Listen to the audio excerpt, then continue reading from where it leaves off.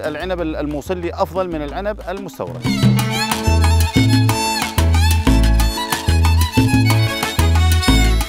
العنب الموجود عندي هو عنب حلواني وأسود وكذلك ديس العنز آه، له نكهة خاصة العنب الموصلي له نكهة خاصة لأنه طبيعة أرضه آه، أرض مزيجية آه، ما خالية من الأملاح والمي اللي نسقيه مي حلو مي عذب زين. يكون العنب عنب له نكهة خاصة وطعم خاص. المشاكل الأخرى الموجودة من العنب باقي المحافظات انه الأرض مالحه ما يكون ما يكون له طعم ونكهة خاصة.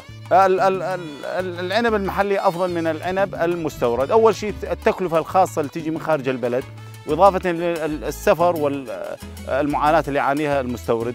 بل هذا بالعكس يعني إذا موجود من نطلع من البستان مباشرة نجنين نوديه العلوه ما يطل ما يطول آه، مدة قليلة ما بي أي خراب ما له أي تأثيرات جانبية أخرى. آه، جاني تاجر من خارج محافظة نينوى من النجف وأخذ كمية من العنب أحد الوجبات وبسعر زين جيد وله رغبة خاصة بي واختاريت هذه آه، زراعة العنب توارثها من الوالد الله يرحمه والبستان الأول الموجود في قرية أبو مارية ولأنه له ربح خاص وربح زين يوفي به الغرض بالدخل العائلة.